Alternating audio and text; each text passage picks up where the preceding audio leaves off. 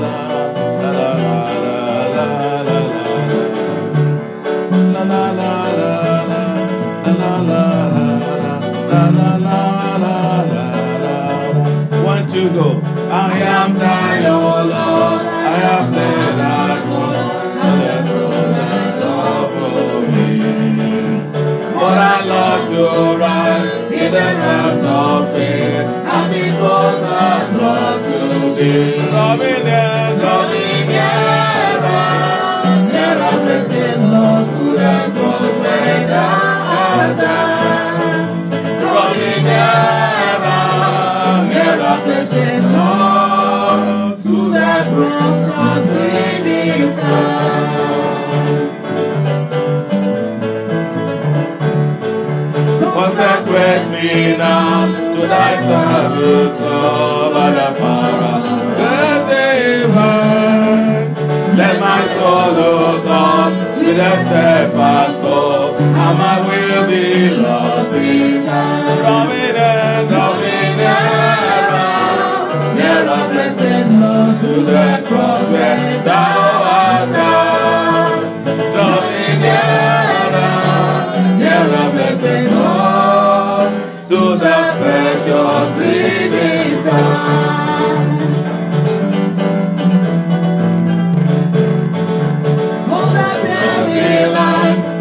single hour that before thy throne I stand. When I kneel in prayer with thee, my God, I commune as praise we fair. I've been there, I've been there, never place in love to thy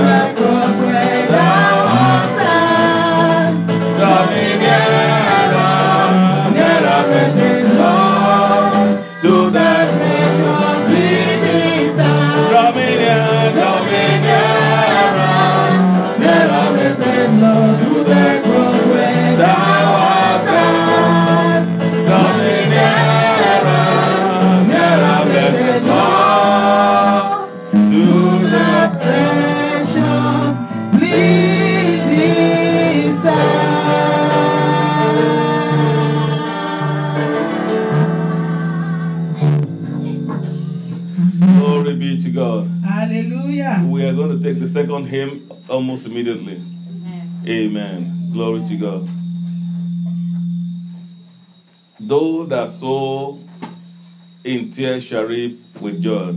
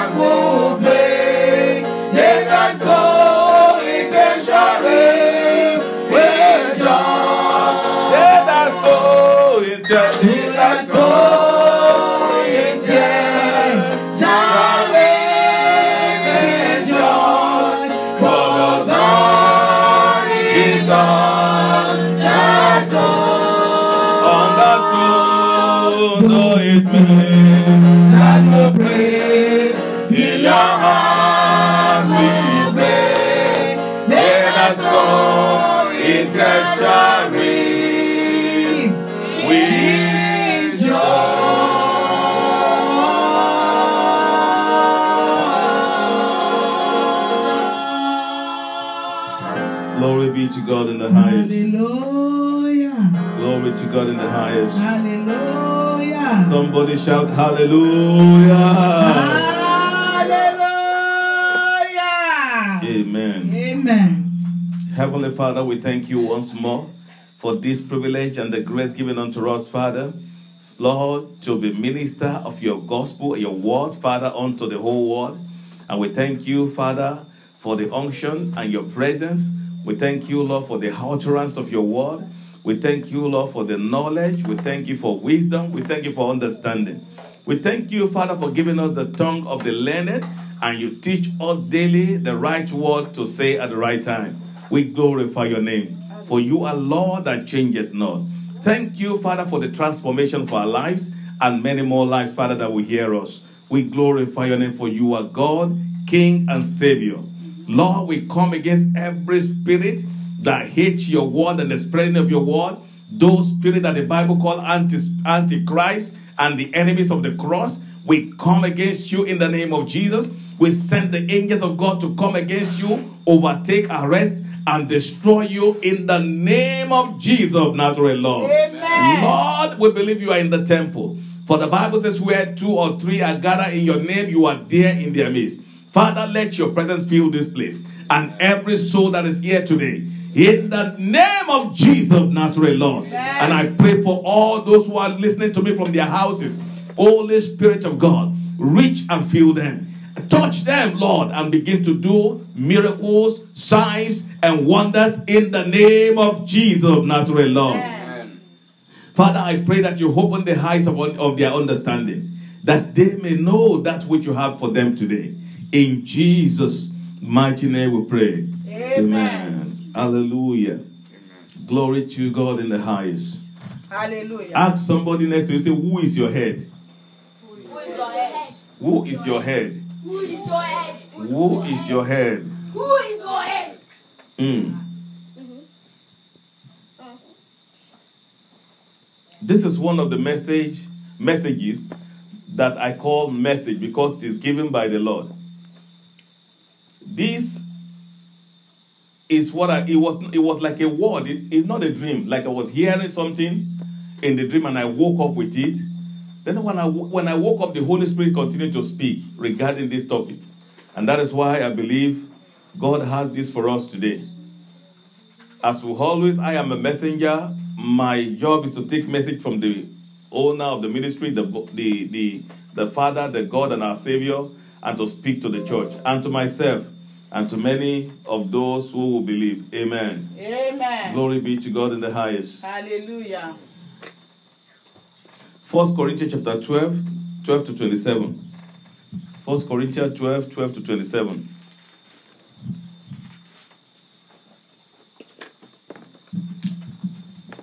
First Corinthians 12, 12 to 27. For as the body is one and has many members, but all the members of that one body, being made many, are one body, so also is Christ. For by one Spirit we were all baptized into one body, whether Jews or Greeks, whether slaves or free, and have all been made to drink into one Spirit. For in, the, for in fact the body is, is not one member but many. If the foot should say, Because I am not a hand, I am not of the body, is it therefore not of the body? And if the ear should say, Because I am not an eye, I am not of the body, is it therefore not of the body? If the whole body were an eye, where would be the hearing? If the whole body were hearing, where would be the smelling? But now God has set the members, each one of them, in the body, just as He pleased. And if they were all one member, where would the body be? But now indeed there are many members, yet one body. And the eye cannot see to the hand, and the cannot say to the hand, I have no need of you, Not say to the head to the nor say not again the head to the feet, the feet. I have no need of you. No much rather those members of the body which seem to be weaker are necessary. And those members of the body which we think to be less honorable, on these we bestow greater honor. And our and our unpresentable unpresentable parts have greater modesty, but our presentable parts have no modesty, no no need. But God composed the body, having great, given greater honor to the parts which lacks it, that there should be no schism in the in the body, but that the members should have the same care for one another. And if one member suffers, all the members suffer with it. Or if one member is honored, all the members rejoice with it. Now you are the body of Christ, and the members indi- individually. Let us read verse 27 together. One, two, everybody. 1 Corinthians 12, 27. One, two, go. You, Now you you are the body of Christ and members individually. You are what? You are the body of Christ, members individually. You are what? You You are are the body of Christ, members individually. Tell somebody beside you, say, You are the body of Christ, You are the body of Christ. members individually. members individually. So Christ is the head, and we are what? The body. Christ is the head, and we are what? The body. But the message the Lord wants me to ask everyone listening to me today is who is your head? Ask somebody, who is your head? If Christ is the head, then we are supposed to be what? The body. And if you have a body, then you must have what? The head. But today, the word that was given unto me to speak to you. This is not a message that I composed by myself. It was a word that was given to me to speak and to ask every church and every member, who is your head? Your head determines what your body does. And you will understand it as I continue. I will speak, and at the end, I will ask the same, the same question again. After the message, I will ask you again, who is your head? The Holy Spirit woke me up this in very early in the morning today. Even though I slept late, I still woke up after speaking for a, a, a couple of hours. Then I sat down. This word woke me from the sleep. So I sat down, and the Holy Spirit, a word that woke me from the sleep, and it was being spoken to me again when I woke up and I, I sat down. According to my custom, I always pray to God to give me a message for every day. To give me message for every day.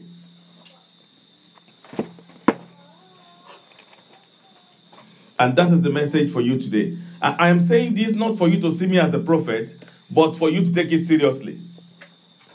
You understand that? It is for you to take it what? Seriously. It's not for you to respect that I see vision or revelation. It's for you to do what? To take it seriously.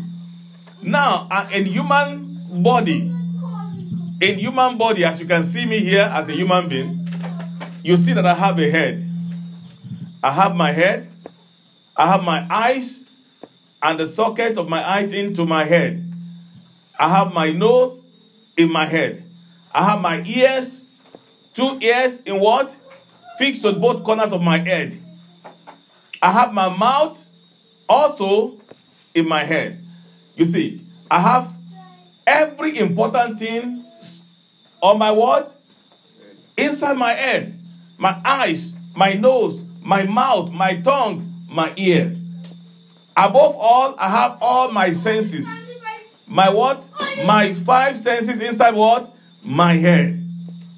The first sense, the sense to the sense to see, the sense to hear, the sense to feel, the sense to taste, and the sense to smell. Everything in my in my brain, in my head, inside my head. So inside my head, there is what? A hearing. There is what? Smelling that brings respiration to my body. Inside my head. I have my mouth that can communicate and express my feeling. Whatever my body feels, my mouth can say to somebody that this is what I feel. So that they will be able to know what I'm going through. My tongue can speak, it can help the roofs of my mouth to speak out, to utter word out inside my head. So every of those things I've told you now is inside the head. So the question is that is your head important to your body or not? So when the head is cut off, what remains of the body? The body is dead. Now they can cut a finger or a leg or a feet or a toe, the person might still live, isn't it? Yes. But when they cut the head, nobody lives after cutting the head. No one lives after what? The head is chopped off. Then the body is dead. So the question again is who is your head? Now, from this, the title of the message through the help of the Holy Spirit is what? headless bodies. The bodies that do not have head. We call it body of Christ, but Christ is not their heads. You will hear the reason why that God wants us to know today. But there is solution. For every message the Lord has given to speak to his people, he has a solution. That is why he gave it as message.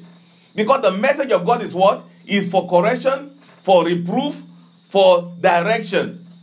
That we may be able to be complete and thoroughly equipped for what? For every good works. It's not to condemn. The message of God is not to condemn, it's to tell us our, our problems that we may be able to what? To change. Condemnation is when you don't you can't change and you are just you are condemned to be punished. But God's message is a message given to us for us to check our lives and to change thereof. So the title again is what? Headless body. A body without head. A body without direction. A body that is lost. A wayward and reckless body. A living body that has no head. In the book of 1 Corinthians that our brother read to us from verses 12 to 27, we saw there that God, the head of Christ, and Christ, the head of the church, you see, and so on and so forth. But what we want to get from there is verse, verse 27 that we are what? You are the body of Christ. And Christ is what? Your head, if you are the body. Christ is your head. I told us shortly that when you cut off body, I mean, when you cut off the head from the body, the body become what? Dead. Because everything that makes the body live is in what? It's in the head. Your senses will pass information to your bodies. And your the good thing I like the cooperation I've seen about human part, human body is that they cooperate effortlessly. They don't need to struggle to submit. Look at this right hand. The right hand is submissive to the mind. As soon as you feel any inch in your this, this hand of the hand from your brain, the inch the, the, the inch will pass what? The information to your your sense and you feel. Then this hand goes to this hand to help this hand. You see that? Now he is not the one, this hand is not the one that is feeling inch that is inchy, but he goes here to do what? To look at my sister there. You see what she did? Now she feels something under armpit on the left. She felt something on the left, then she used the right to do what? Why don't you use your right to, to do the right? So that the, your right will say, No, I don't like you. You offended me, the left. You see that? So you something will happen to your leg and your feet will go there. You do like this to help your your feet. You see that? Something happens to your head, inchy, then you put your finger to help the, the head. So they cooperate, they work together. They submit effortlessly. They do what? Submit effortlessly. They don't struggle to submit.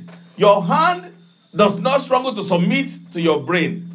Your feet does not struggle to submit to your brain.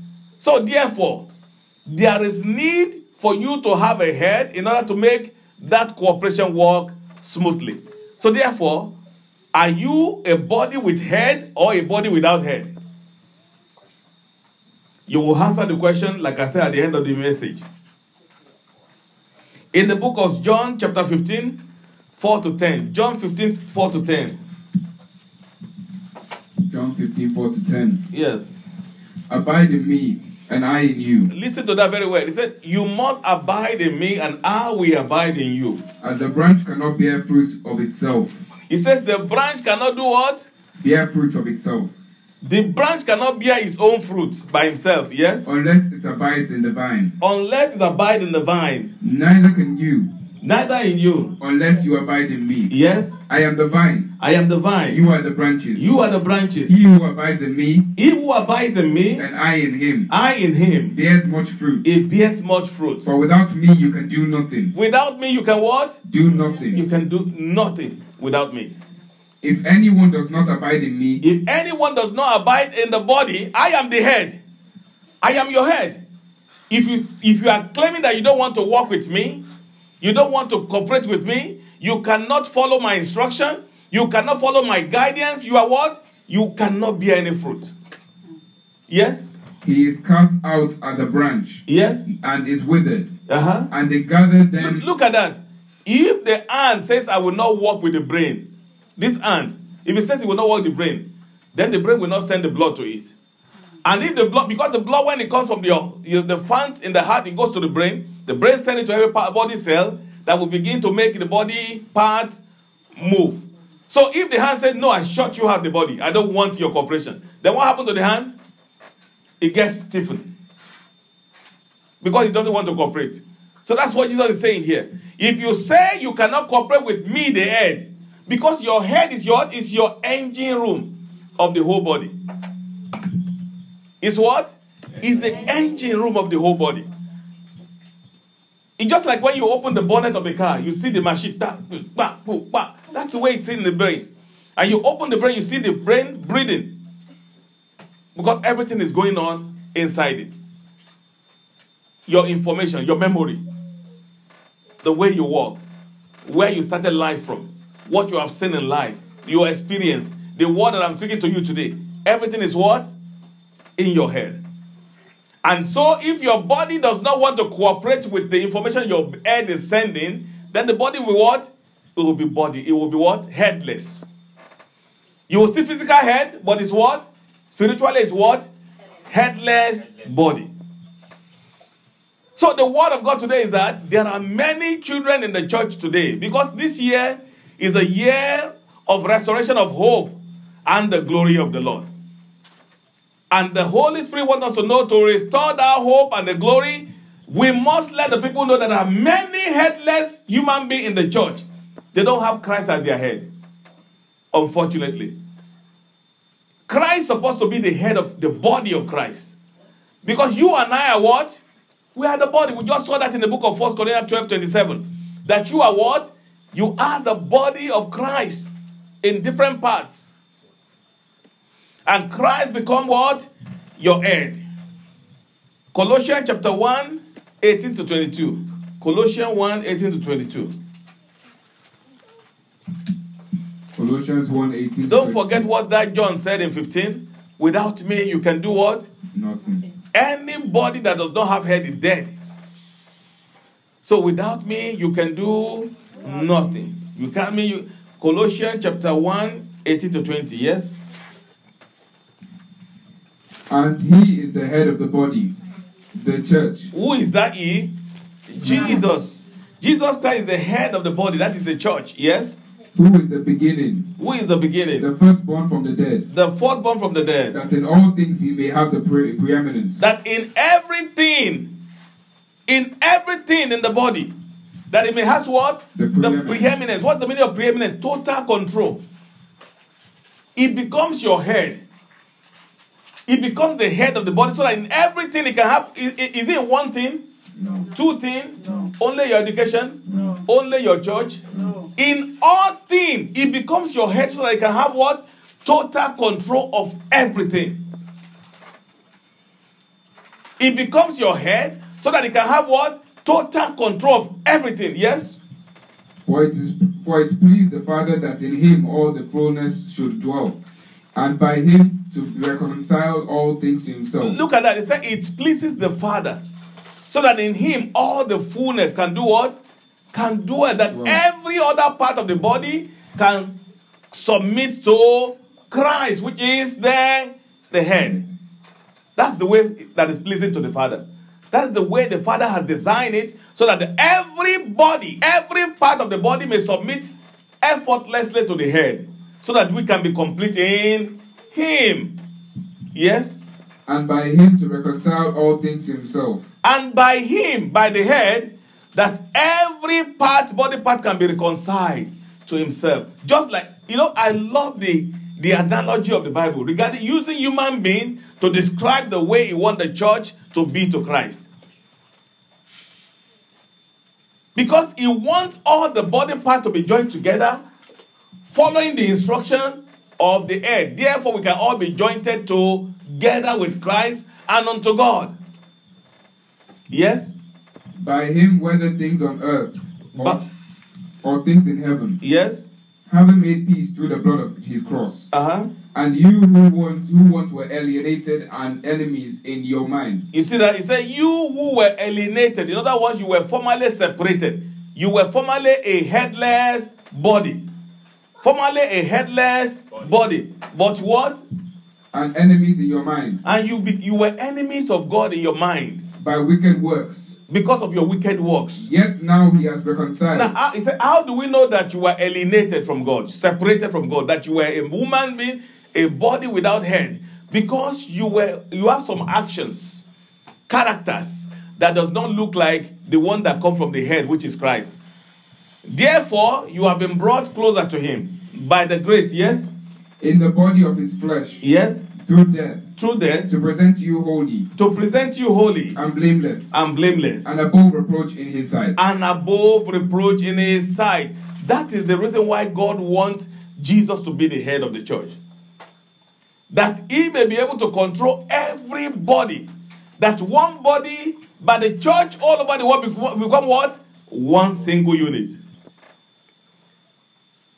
And therefore, if the whole church all over the world has Jesus as their body, are we supposed to be divided? No. Are we supposed to be different in preaching? No. Are we supposed to be different in beliefs? No. So that is the message God wants me to speak to you today. I'm not expecting it to be too big or too wide. I want to maintain it to the message. Is that the body of Christ in the world do not have head. They do not have what? That is why. And when he said they don't have head, it's not that they don't really have head, but everybody have his own. They don't have Jesus as the head. That is what I mean. When I said bodiless, I mean headless body, I am saying that the body that don't have Christ as their head. It's not that they don't have the head, but they don't have Christ as their head. Because the only recognized head is who? Is Christ. That is why I said headless bodies. I could have given it another title, but because any head that is not Christ is not what? Is not head. Any head that any church may be putting on their bodies, that any human being or any Christian may have, it is not head except Christ. Because the Bible says he is the only one that is put in the highest authority, that he can become head of all things. So that in him, so that he may be able to have preeminence over every powers, over every forces. Only one head is given to the body of Christ. Not two, not ten, not ten, not one thousand. One head, and in Christ. I am going to my point, and I want you to follow me stage by stage. If you miss any stage, you will not understand the message. It's a mystery. This is part of the mystery of the gospel, which by mercy is been revealed to some of us. The Apostle Paul said that mystery that was not re- revealed to the people of the past. You see, and the generation in the past, it has been made known to the generation of now, to this, to the to the saints now, and also gotten to the Gentiles. The mystery of the gospel revealed unto us. The reason why God made Christ the head is so that everybody can be joined together with Him and will live together as one unit body in faith, in love, in belief, in understanding, in spiritual growth, that we may be able to work together up to the time we get to the full statue of Christ, full standard of the statue of Christ.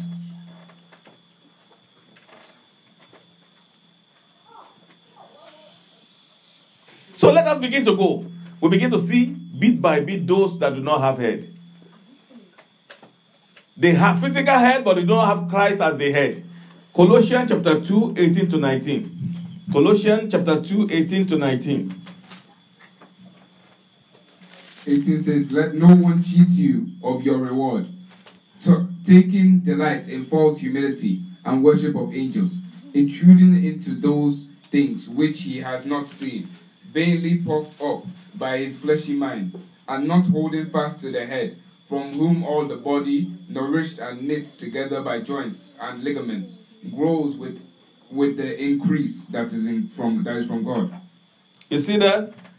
Now, when you look at verse 19, sorry, verse 18, it tells us the problem.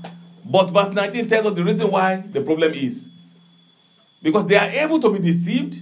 Because what? Because they were not, they have body, but they are not jointed with the body. They have been disconnected from the body. Look at it. It said, Let no uh, 19 and not holding fast to the head. Some other some other translation will say disconnected from the head. They are they were disconnected from the head, which is Christ, and therefore it was easy to deceive them. It was easy to be led astray. It was easy to be cheated, to be robbed spiritually, and to be deceived spiritually by the trickery word of deceivers of the gospel of today. Deceived by the wind of doctrine, fake doctrine, because they are disconnected from the head, which is the Christ. What translation is that? Translation. What does it say? He has lost connection with the head. You see that one? That says he had he lost connection with the head. Therefore, he was able to be deceived. So we are getting into those who do not have head, who do not have Christ as their head. Those who are disconnected from what? From the head. They are bodies, but the bodies have been disconnected from what? From the head. So are many people in the church today. They are the body of Christ, really. The Bible calls them so. 1 Corinthians 12 27. But they have disconnected from the body. They are not connected to the body. And that is the reason why the church do not look like the same. That's the reason why we preach differently. That's the reason why we believe differently. That's the reason why we look differently. That's the reason why this one will say you do like this, the other one will say you do like that. That's the reason why we are not united. That's the reason why we hate and we bite and back at ourselves as church. Don't let us deceive ourselves. Churches are not united. That is the truth.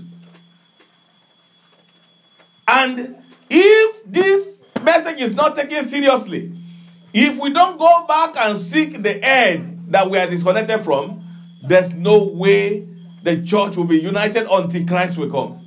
And that is a dangerous, a dangerous move. Jesus died. The Father permitted the, the Son to die that we may have a head. And that all of us can be submissive to the head, that we can become one unit body.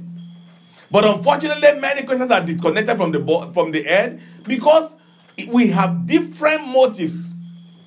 We don't have the same motive. Now, for instance, if I have one head and my body part, can my body part begin to do contrary to my head? Whatever I think that I want to do, if I, if I feel in my mind that I want to stand up, what will my legs do? My legs will move. If I feel that I will lift up my hand this way I'm doing, I felt it in my mind, then I started, my senses send it to my hand, to signal to my hand, and my hand does what? It moves. So my my hands, my feet, my body, every body part that I have, they are the same unit body that formed me. Because we are one united from my my head. So if the church of God on earth has Christ as the head, why should we believe differently? Why should we behave differently? Why should our topics and messages different from one another? Why should we fight ourselves? Why should we be this divided? The division of the body of Christ now that I see is worse than I have ever seen in my in this my little age on earth. The division is, is, is, is getting wider and wider and wider every day because we have lost connection with what? With the head. In the book of 1 John chapter 5, 5 verse 12, I told you that anyone that lost connection with the, with the body is what? Is dead. Anybody body that lost connection with his head is what? Is dead. 1 John 5 12, what does it say? Anyone that has the Son has life. But he that does not have the Son of God, what? Does not have life. Yes, read it for me. 1 John 5 12. Yes. He who has the Son has life. Anyone that has the head has what? Life. That is the is it is Jesus not the head? Yes. So what is saying directly is there is that whoever have head has what? Life. Life. Yes, who doesn't whoever does not have head, He who does not have the Son of God does not have life. he who does not have head does not have what? Life. Life. Is dead. Because he has no more direction. I told you earlier that my eyes are in my head. So if if I don't have the head, can I see? The body has lost direction. Can I hear? Can I continue to speak? Can I continue to feel anything in my body? No. No. So you see, once you once you don't have the head, which is the Son of God, you are dead. But if you have the Son of God, which is the head, you live. But look at the deception. Listen to me. Please, I want you to give me your 100% attention in this message.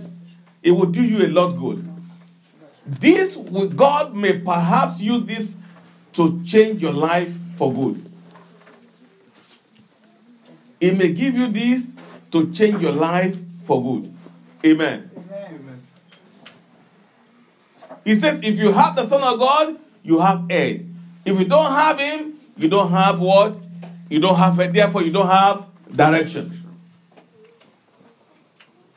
So, when this was coming to me today, and I began to think, so this is the reason why we have this problem in the church. Even in one, so in what? Forget about the other churches. Even in the same church, under one roof, we don't have the same head in the same church, under one roof of a ministry, there are many heads there. So, in other words, there are many what? I said to you earlier that if you don't have Jesus as your head, you have what? You are headless. So, and I now begin to see the reason why there is a lot of problem. Because if you don't have Christ as your head, you will not be able to submit to Christ. That is one. And if you are not submissive to Christ, you will not be able to be holy or righteous or upright. So therefore, you cannot submit to anybody. That is why you see wives don't submit to husband. That's why you see junior people do not submit to senior. That's why you see rebellion, divorce, and problem. Because once you don't have Christ as your head and become unit, one united body with Christ, you will become divided with any other relationship. You will not be able to be united with anyone. Because one unity with Christ produces other unity, understanding that you must be united in any other process. Isaiah explained that further, I mean, very clearly in chapter 6, that once we had no head, we were living in the world, we went astray, everybody according to his own way, like a lost sheep. And everybody went in their own way. Isaiah chapter 6, from, from verse 8 to 11. Isaiah 6, 8 to 11, yes? Isaiah 6 8 to 11. Also, I heard the voice of the Lord saying, Yes? Whom shall I send, and who will go for us? 8 to 11. 8 to 11. Yeah. Chapter 6. Yes. Yes. Then I said, Here, I- here am I. Send me. Oh, sorry, 53 I meant. Isaiah 53, 8 to 11. Isaiah 53 8 to 11. Mm. He was taken from prison and from judgment. And, and who will. read it from 6 for me. All we like. All, we, all we, like sheep yes? have gone astray. All of us, like sheep, have done what? Gone astray. We have gone astray. We have turned everyone to his own way. Everyone has gone to his own way. And the Lord has laid on him the, the iniquity of us, of us all. And the Lord laid upon him our all our iniquity, so that he can be able to what? Reconcile us back to him through what? Through his son. Remember in that Colossians chapter 2 that we read, the purpose of making Christ the head is to reconcile all the bodies everywhere, all over the world to what? To himself. Because if the head become one, if they have one body, one, uh, sorry, if the bodies have one head, then it will be easier to bring all the world to because that is what Apostle Paul called the mystery of the gospel that God put in place from the foundation of the of the world. God had the whole world in mind, then he went through Israel among the Jewish people first that he may reconcile the world back to, to himself, that all will become one under the head that is called Jesus Christ. Romans chapter 8, verse 8 to 11. Romans 8, 8 to 11.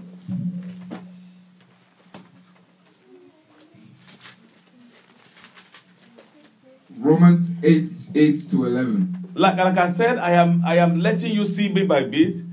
We are going towards the main point of the message. I have been coming from establishing the point. Now you now begin to see how people can be without without head. How they can be without head. It's not that you see having Christ as our head is is one some of the technical part of the Bible that a lot of people don't take seriously. We read them in the Bible, then we, we just we just brush past them. You don't sit down to say, How do I become the body of the head of Christ? How do I submit myself to become the body of Christ that they call me? So it has, it has just become a what? A language. It's just ordinary language of the church. Body of Christ. Body of Christ. But have you ever thought, how can you be a body of the Holy Christ? How can you be the body of the Holy Christ and you are you are what? You are dirty. Because whatever is in the brain that affects the whole body. Whatever is in what? In the brain that affects the whole body. You cannot be better than what your head is. It is the head that carry your sight, your eyesight, your hearing, your, your breathing. And therefore, the head determines how your body will look like. It determines your direction. It determines your success or your failure. It determines your victory or your defeat. You see? So that is why the Bible says that Christ is our head. Because the plan for us, the plan of God for salvation is to, is to what? To bring all people to the obedience of his word in one under one Holy Spirit, under one Jesus, and under one God. And how did God have it? How, how, was, how did God plan to do that? He sent his son into the world to show us the way. And later the son went away. He sent us Holy Spirit to continue from where he stopped from. So that he can maintain his head and his preeminence in our body on daily basis through the help of the word, that Holy Spirit. Romans 8, 8 to 11. So then, those who are in Christ can, I mean, those who are in the flesh cannot please God. Those who are in the flesh, those headless body, cannot do what? Please God. Any headless body cannot please God. Once you are not united in the body of Christ to become, to make Christ your head, you can never please God. And it is very easy. It is said in the book of Colossians in chapter 1 that we read. The symbol, it said, once we were alienated, we were separated from the body, we were detached from the body, and we knew that because of the characters that we have. So, when you are living in the body here, he said, when you are in the body, you are you are headless body, you can never please God. How do you know that you are headless body? You will see that you can't please God. You will see the more you try, the more you fail. It looked like holiness is a struggle. It looked like righteousness is a struggle. In fact, sometimes you come to conclusion and say, you join the people that used to say nobody can be holy. You join the group of people that said nobody can be righteous. You cooperate with people that say nobody can be without sin. Because you have tried, it's not working. Because you little did you know that you are ordinary headless body. Headless body. Headless body can never please God. Headless body can never do the will of God. Because once you are detached from your head, there is no connection anymore. There is no flow, flow of, wa- of water, no flow of blood. Then that rest of the body become what? Dead and stiffened. Continue. 9. Nine. But you are not in the flesh, You are not in the flesh, but in the spirit. in the spirit. If indeed the spirit of God dwells in you. He said, if indeed, indeed means if truly. If truly you have head, you are not in the flesh.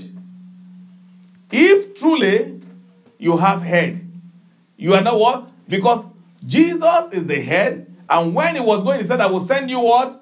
The Holy Spirit. Even though I'm not present in your body, but the Holy Spirit what? Will be working in my place. And therefore, if you are obeying the Holy Spirit, you are obeying me. You see, but here it says if you are in the flesh, you don't have head. You don't have Christ as what? Your head. But he said if indeed you have the Spirit of God, then you have head. If indeed you have the Spirit. Yes, continue. Now, if anyone does not have the Spirit of God of Christ, he is not his. You see that? He said, if anyone does not have Christ as the head, that's what we mean by, the Spirit of God, is not what? Is- Is disconnected from the body. Anyone without the Spirit of God is what? Is headless body. Anyone that is not the Spirit of God is what? Headless body. Headless body. Yes? And if Christ is in you, If Christ is in you, the body is dead the body is dead. because of sin, And look at that. It comes now. Look at the way it starts from the Holy Spirit. He said Holy Spirit, then he go to Christ, which means he's speaking about the same people. Now he said, if Christ is in you, in other words, if Christ is in is your head, if Christ is what? Your head. Your head, yes? the body is dead. Oh God. I hope you are seeing what I'm seeing. If you can see what I see, shout Hallelujah! hallelujah. He says, now, therefore, look at the first thing you talk about Holy Spirit. The second you talk about Jesus. He said, if Christ is your head, so if Christ is your head, so he has all the senses that control your body is in him. Then he controls your eyes. He controls your hearing. He controls your speaking, your speech. He controls whatever you have because it's your head. Then the body becomes what? Dead because of sin. Because Christ is dead to sin, and therefore your bone body too, you are dead to sin. That is very simple. So if you are not dead to sin, do you have head? No. That is headless body. Ask somebody again at this junction. Do you have head? Do you have a You have it. Is Christ your head? Is Christ your head. head? Say, keep your answer to yourself. You answer to yourself. You answer to yourself. Amen. Amen. You see that?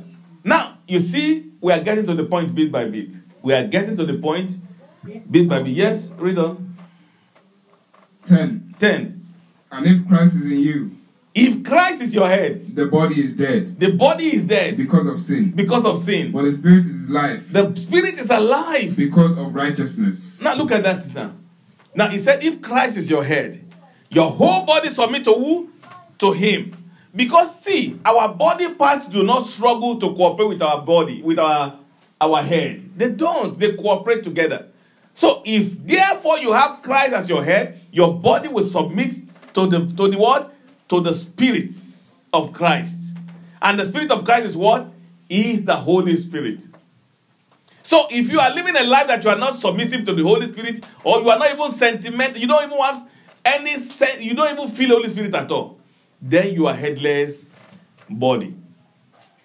You have a physical head, but there's no spiritual eh, head. And there is the danger. We'll see the danger when I get there.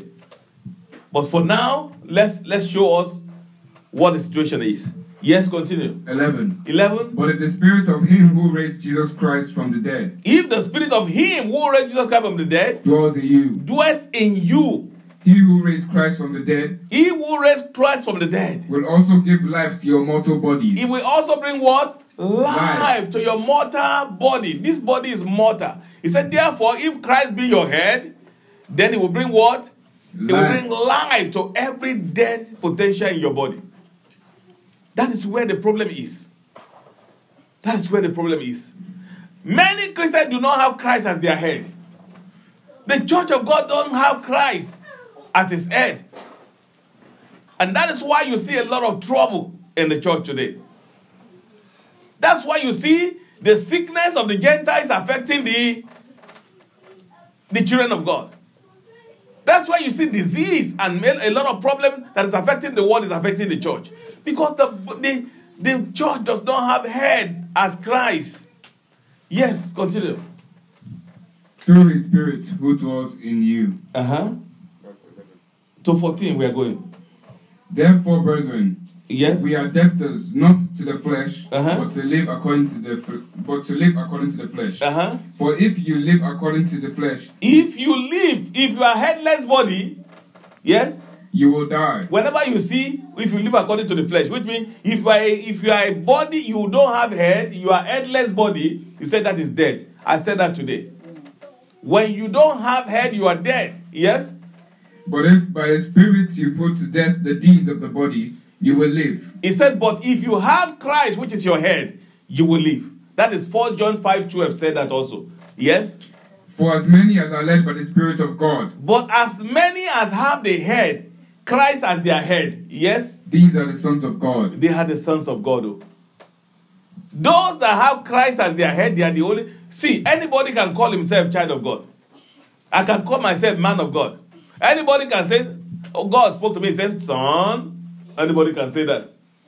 It's easy for us to speak about ourselves. But does God call you a son? Does God know you that you're a child of God? A lot of people say, God is my father, and God said, I'm not your father. God said it to some people in Israel. He said, Go to your wood and your stick that you call father. I do not recognize you as what? As father. Because it's only those that are led that have head, Christ as their head, led by the Spirit. See, being led is not just hearing.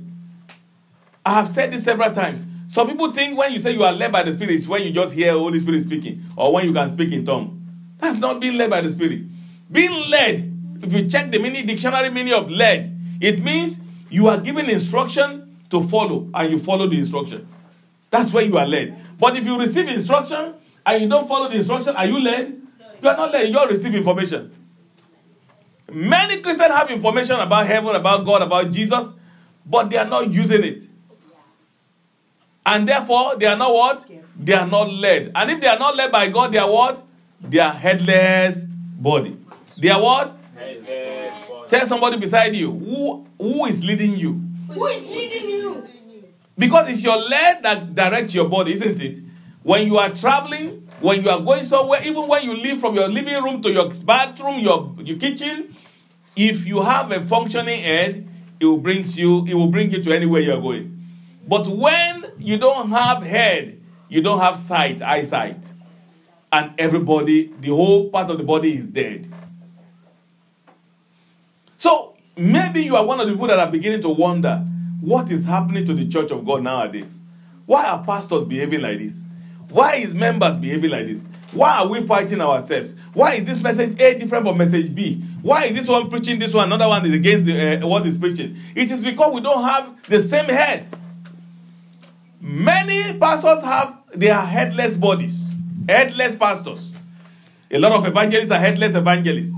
A lot of bishops are what? Headless bishops. A lot of pastors are what? Headless pastors. Even though they speak in tongues, but they are not led by the Spirit. It is only when you receive information from the Spirit of God as your head and you carry it out in, a, in, in, in, in assignment, that is when you are led by the Spirit of God. Let us read the last one before we go. I go to the summary of the message.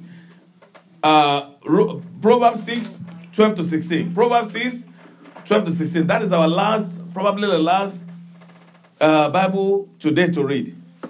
I told you that I'm going to maintain it as a message because it was given to me as a message to speak to the church and to everyone. And after this, I will go to summary and I will leave you to make decision as to whether you want to have a head or you want to continue to go the way you have been going.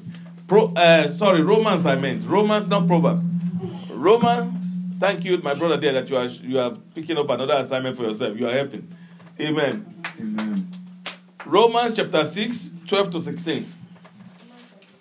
Romans 6, 12 to 16. Yes?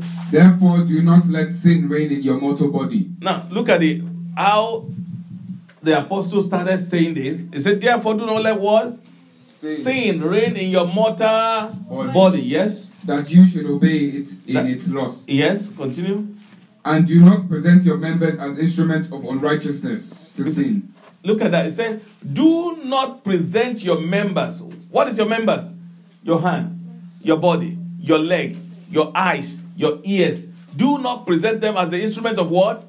Unrighteousness. Yes, continue. as being alive from the dead, Yes, and your members as instruments of righteousness to God. yes. For sin shall not have dominion over you. He says, Look at step by step. I love the way Apostle Paul presents anything that he wrote, step by step. Look, I start by telling us what we should do and what we should not do. But he will not get to the part that how people do that and what happened to you when you do that. Now, here, can you read that part again? For sin shall not have dominion over you. He says, Sin shall not have dominion. In other words, sin will not control your life. You will not commit sin. Yes? For you are not under law, Because you are no longer under law, but under grace. under the grace. Now, hold on. I have some people saying, preaching, that because we are saved by grace and not by works, not by law, therefore we are God has forgiven our sin of today, tomorrow, and forever. Apostle Paul is saying that is not the case. Eh? That's not what? That is not the case. So even by not by not being delivered by the law, it shows that you should not commit sin. Because you are saved by grace does not mean you have to continue to live in sin. Law is not eradicated by the death of Jesus. Look at what law did. Law just became it was no longer because it was not it was not the best way to get to God. It was not what? The best way Let me give you a serious uh, uh, comparison. Now, if I am a Christian father, I'm a, I'm a pastor, then I tell my children that do they are not born again yet. Then I tell them, please don't do this, don't do that, don't do this, don't go to party, don't do this, don't smoke, don't, you know, I tell them many laws. You see that many of them will be trying to be good children, but they will still be falling into some of them, isn't it? Yeah. They're trying to please me, but they'll be struggling with it. They can't, they can't do all the laws. Sometimes they get they get frustrated. Say, what kind of father is this?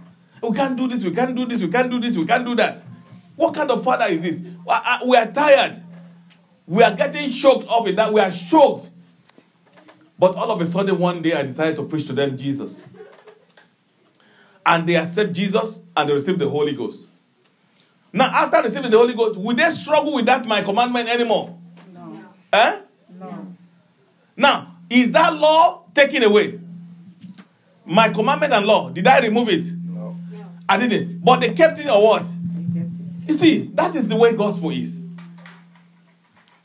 The same commandment, they kept it after giving their life to Jesus and receiving the Holy Ghost. Comfort, comfortably. They no longer struggle with it. But before they received the Jesus Christ as Lord and Savior, they were doing what? They were struggling with it. So that is what Apostle Paul is saying. Your salvation does not mean because you are received salvation free, does not mean you have to live free sin.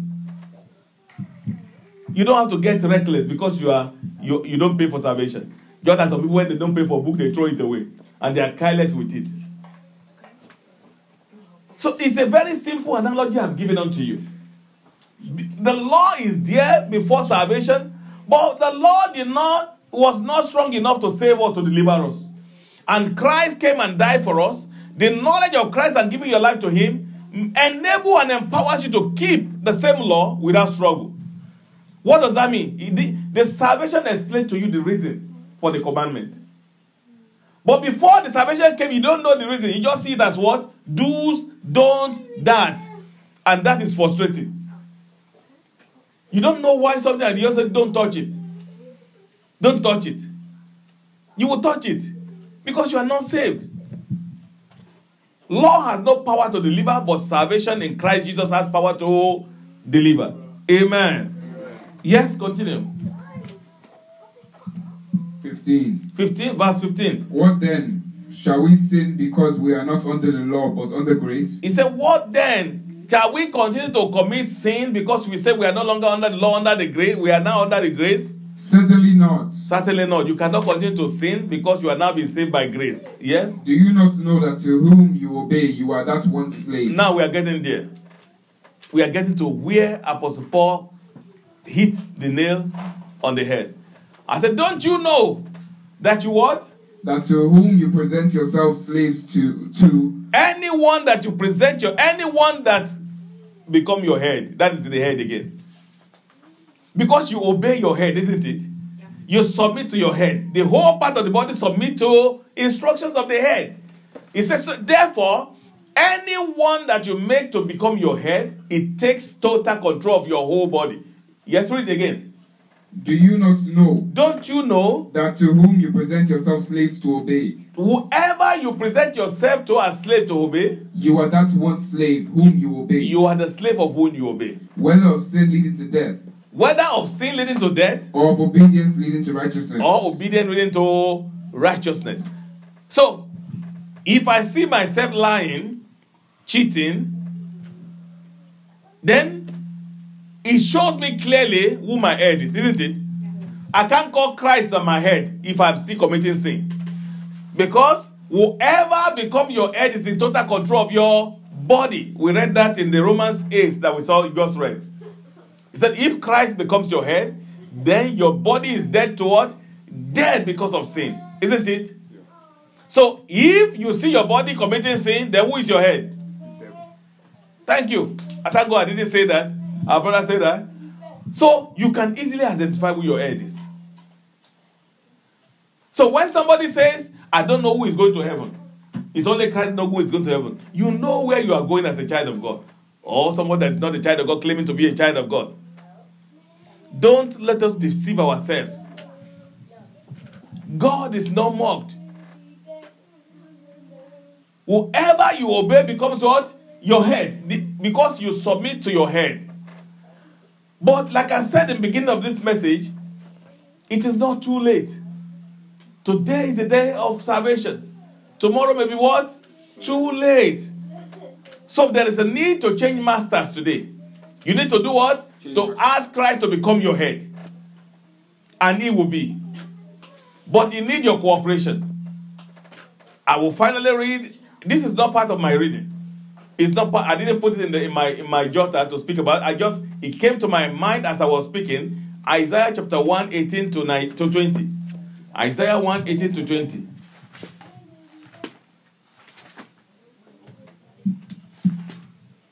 Isaiah 1 18 to 20. Yes. Come now, and let us reason together, Come now, let us reason together. says the Lord. Says the Lord. Though your sins are like scarlet, If your sins is like scarlet, they shall be as white as snow. they shall be as white as snow. Though they are red like crimson, Even though your sin is red, too red, too deep, you say, No, this is too much for me. Can God deliver somebody like me?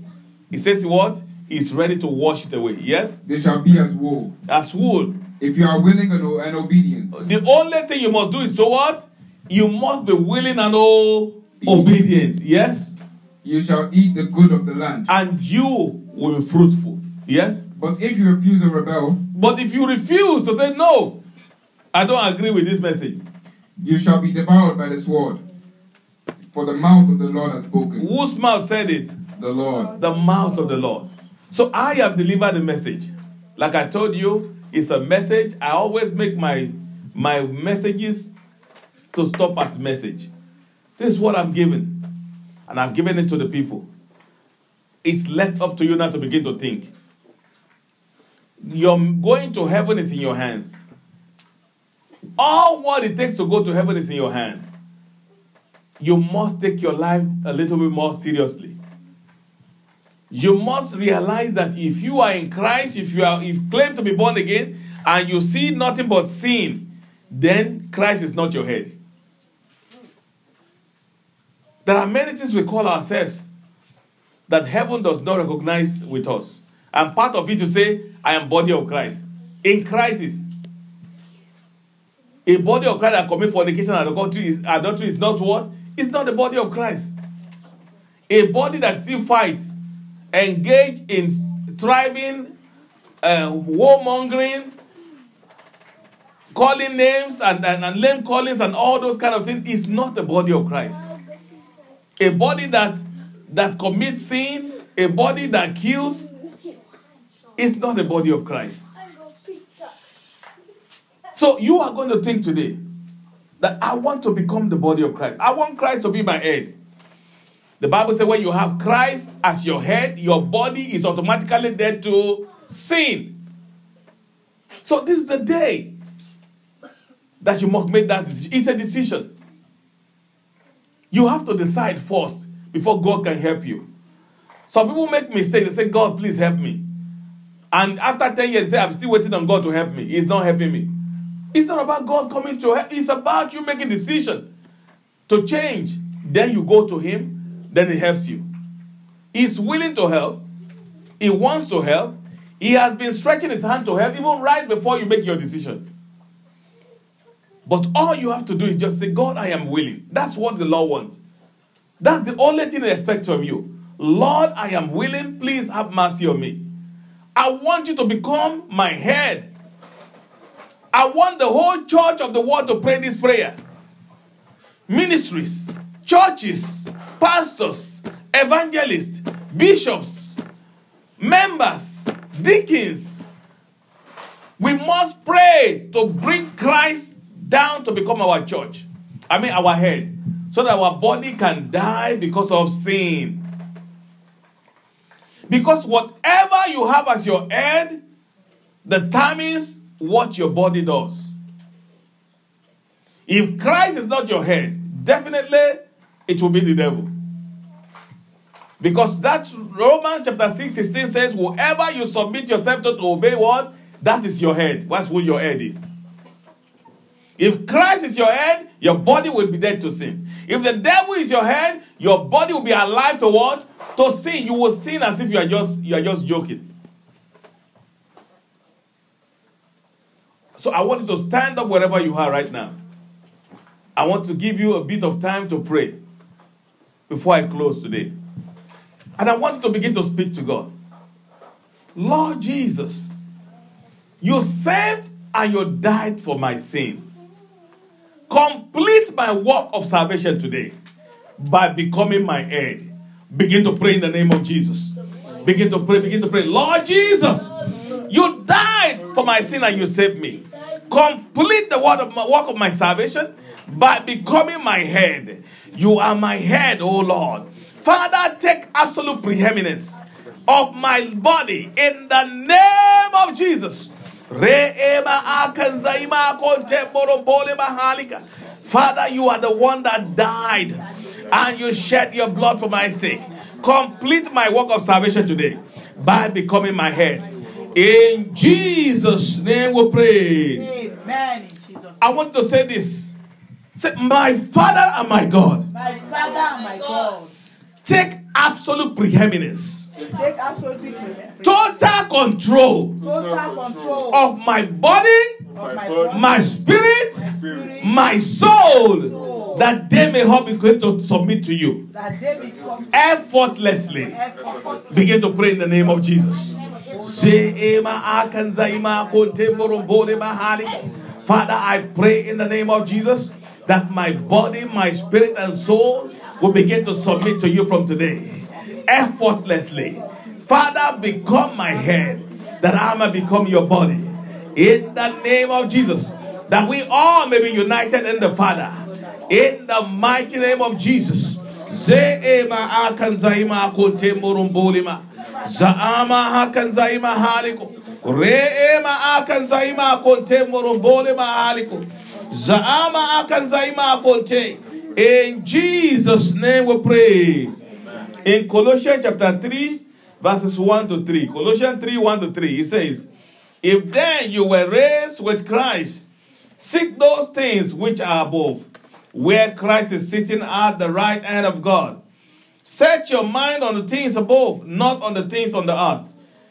For you died, and your life in, is hidden in Christ in God. You died, your life is hidden. Even though you are living, but you are dead to sin. And because your life is hidden in Christ in God. Now tell me if you are living in Christ in God, how can the wicked reach you? No wonder, First John in chapter 5, it says, Those that are children of God, they keep themselves in verse 18, and the wicked one does not reach them. Is that not what it says? They do not reach them. Because you are hidden in Christ in the in the Lord. So there is need for you to have the head. It is the head that kills your body to be submissive to, to him. You are going to pray today. Jesus Christ, the Son of God, Jesus Christ, the Son of God, be my head today. Be my head today. As from today, As from today, let my life be submissive to your instruction. let my life be submitted. Begin to pray in the name of Jesus. Name Jesus Christ, the Son of God, be my head today. my head today. Be my head today. My. Our Lord, my Father, I am the body. I am supposed to be the body of Christ, Lord. Without sin, living without sin. The Bible says, if I make Christ my head, my body will die because of sin. Father, be my head today, that my whole body may begin to take instructions and follow in direction and be corrected by you. In the name of Jesus, in the name of Jesus. Zeema akanzaima kontemboro bole mahalika. In Jesus' name we pray. In the name of Jesus, amen. In Jesus' name. In that Romans chapter 8, verse 14, it says, For as many as are led by the word, by the Spirit of God and the word, the sons, some people will say it's your son, it's his daughter, so I'm, I'm exempted. You are not exempted. He says, when he says sons, it means sons, daughter, white or black, America or Asia. You are what? You must be led by his spirit. It- because it's only those who are led by his spirit that are what? That have the head. They have Christ as their head. So you are going to pray today. Because I told you before, it is one thing for you to receive instruction. But when the Bible says led, being led means you receive the instruction and you run with it. You didn't just receive instruction, but you receive instruction to begin to do according to his command. That's what makes you what? Someone that is led by God's Spirit. Say, Oh Lord, my Father. Oh Lord, my Father, As from today, from today, let me begin to follow your instructions. let me begin to follow you. Let me be corrected by your word. Let me. Let me be able to embrace your Let word me be able to embrace with joy instead of bitterness. with joy instead of Begin to pray in the name of Jesus. Say, "Ema akan zaima kontemboro mahalika." Father, I pray in the name of Jesus. As from today, Lord, lead me by your word. Empower me to obey. Empower me to obey. Empower me to obey. Empower me to obey. To be led by your instruction. In the name of Jesus, my Father and my God, empower me to obey. In the name of Jesus. Empower me to obey. In the name of Jesus. Give me power to receive your word and to travel with it. That be make to make useful of your word. In the name of Jesus. Give unto me. Re-ema akan zaiba kontemboro bole mahalika. In the name of Jesus. Father, to do your will, to please Pray, pray, pray, pray, pray, pray. And Power in the name of Jesus. Oh Lord, my God my Father, empower me, Lord. Empower my children, my husband and I. Empower the church, the way of life. In Jesus' name we pray. Follow instruction in the name of Jesus. I want you to sing this song before you pray the next prayer. Lord, prepare me a sanctuary, pure and holy, triumph through with thanksgiving. I'll be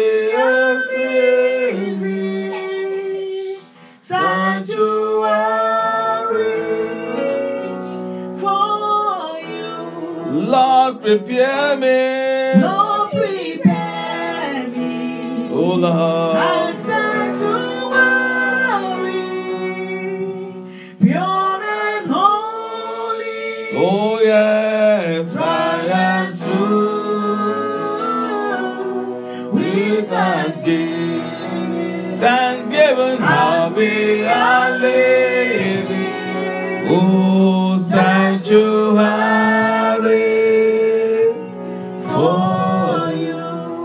Colossians chapter 1, Let's see Colossians 1 verses 10 and 11. Colossians 1 10 and 11. What does it say? Somebody quick. Colossians chapter 10, 11, I mean chapter 1, 10 and 11. Verses 10 and 11. He says, That you may walk worthy of the Lord, fully pleasing Him. Look at that. That you may start walking with the Lord, fully pleasing Him, being fruitful in every good works. Being fruitful in how many works? Every every good works and in, in increasing in the knowledge of God. Look at that verse 11. He says, strengthened with all might, strengthened with all might according to his glorious power, for all patience and long suffering with joy. Can you see that? He said, empowerment by God to be what? To be patient and to be to endure that you can be full with joy. You are going to ask for power today. Lord, empower me to obey the leading of your Holy Spirit. Empower me to obey instruction and correction. Empower me to receive your messages with joy. See that up now, there are some people that hear message of God and get angry. There are people that are, the Bible called those people the, the people that have made the word of God as war, the word rock of offense. And it's become the word Their stumbling block. Instead of receiving gospel, the gospel become what? Rock of offense and stumbling block. So you are going to pray, Lord, empower me, Lord, as from today, to receive your word with gladness and empower me to obey and to follow your direction, instruction, and correction. In the name of Jesus, begin to pray. Say, "Ema aka zaima konte morombole ma ali." Ye ema aka zaima konte morombole ma. Raama ko zeke morombole ma. Ye ema aka zaima konte morombole ma. Father, empower me to Strengthen me. Empower me.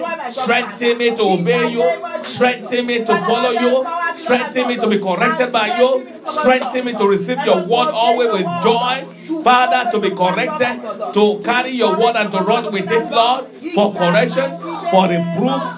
Father, in the name of our direction, oh Lord, that I may be thoroughly equipped for every good works. In the name of Jesus, in the name of Jesus, in Jesus' name we pray. Before we sing the next song, you are going to pray. Sing the. I mean, we pray the next prayer, you're going to sing this song again.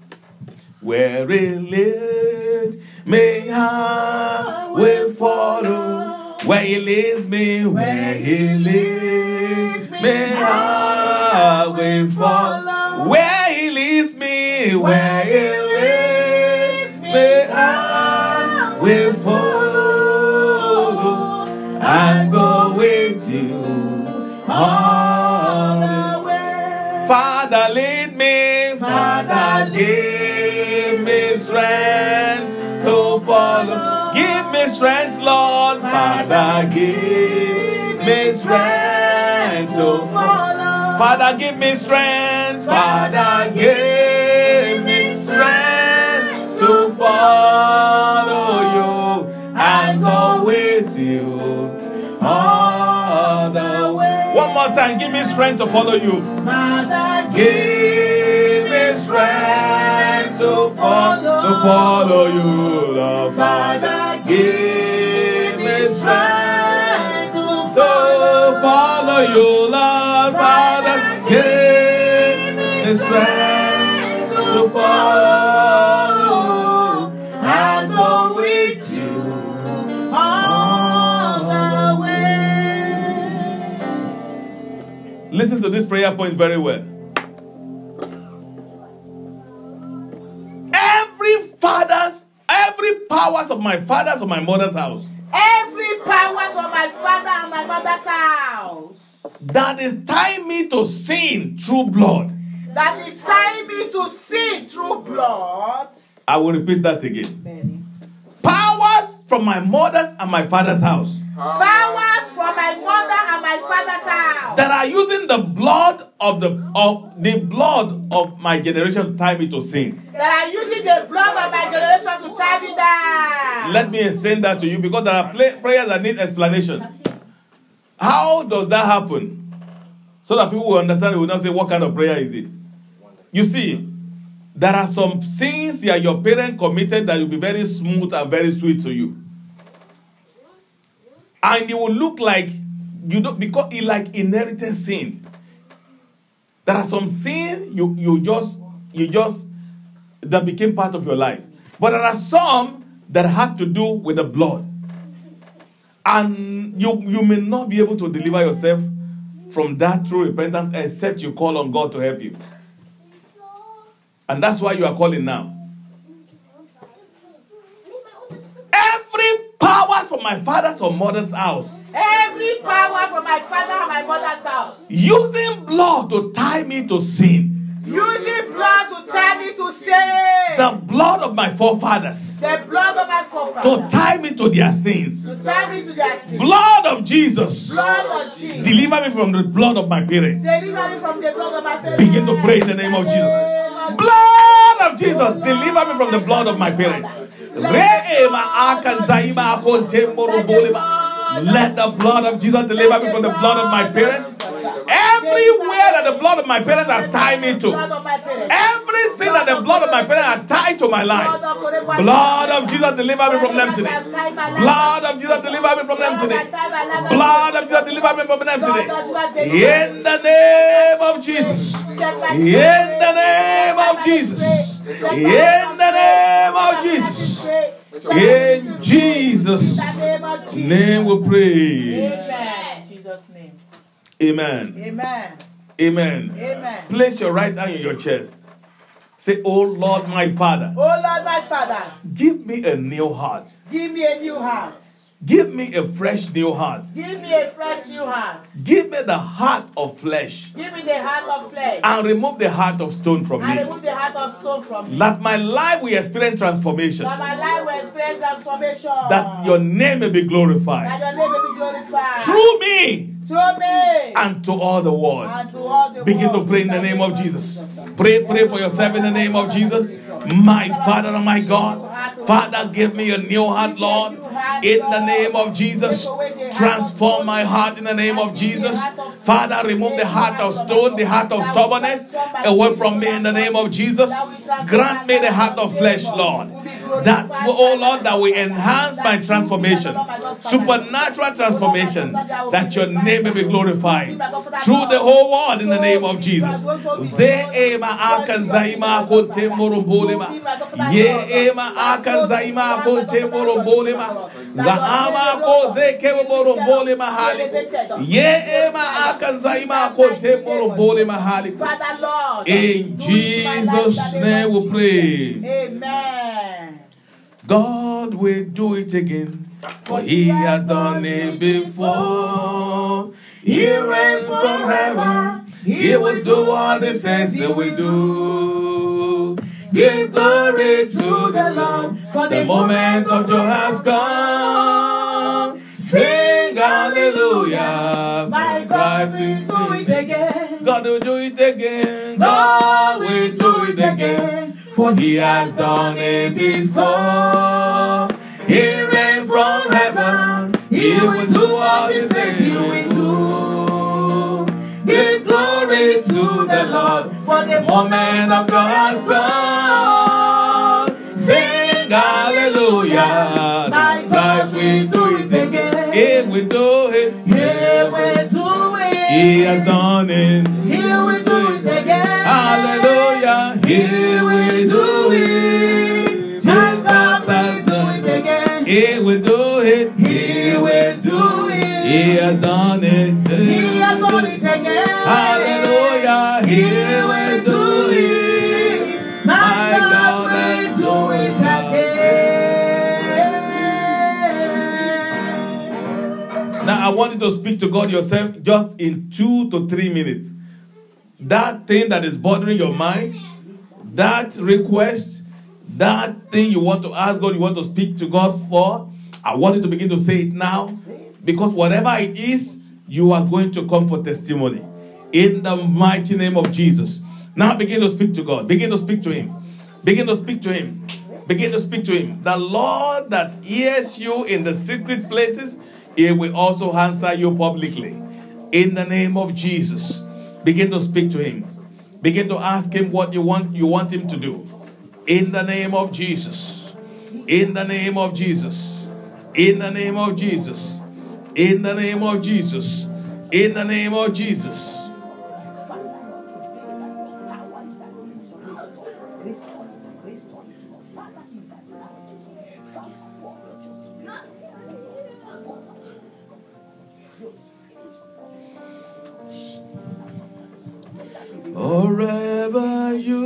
Be, forever you will be, my lamb upon the throne, the lamb upon the throne. I gladly bow my knees, gladly bow my knees, to worship you, my God. Forever you will be, forever you will be, forever you will be, my lamp upon the throne, the lamp upon the throne. I gladly bow my knees, gladly bow my knees. I worship you, my God.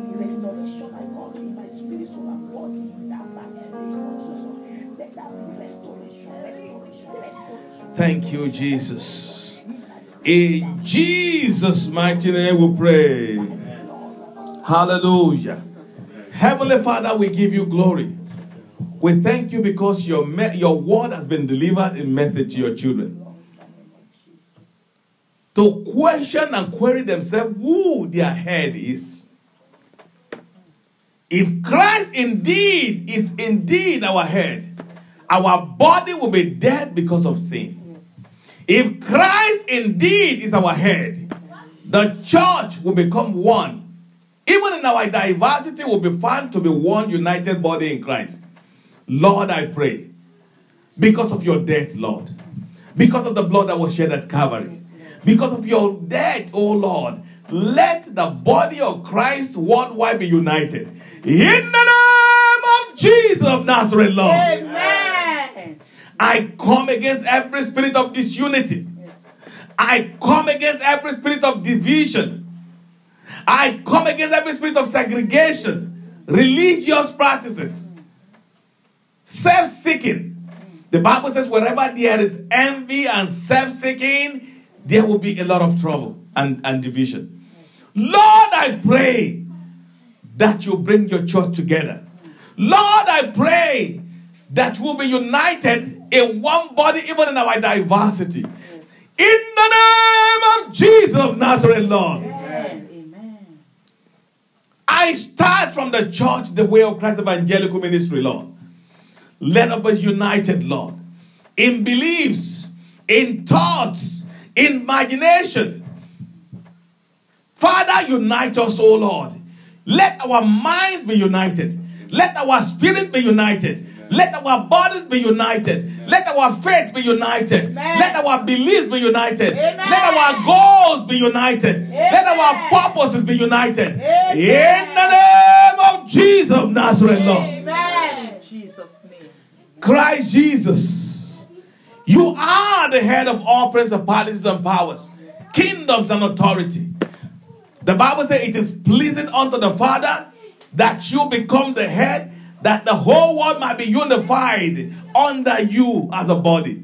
My God and my Father, I pray in the name of Jesus that you unite every Christian body and you make yourself our body, Lord, our head, Lord, that we can become your body, unified under you. In the name of Jesus of Nazareth, Father. Amen.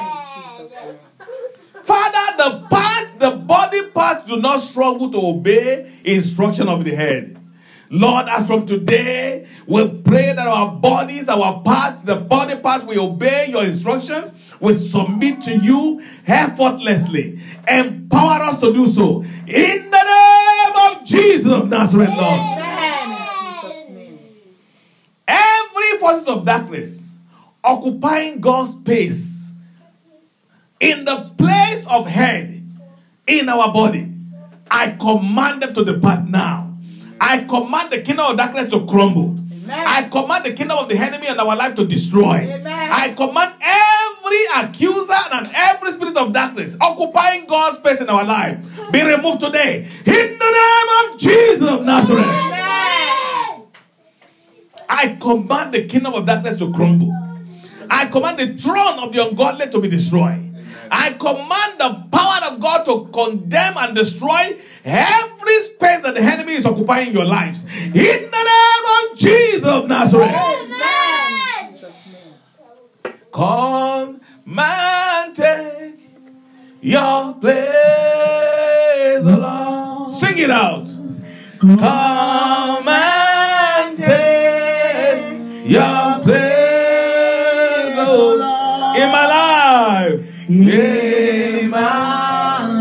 your head. Is your head. He must take his space today in the name of Jesus. Oh,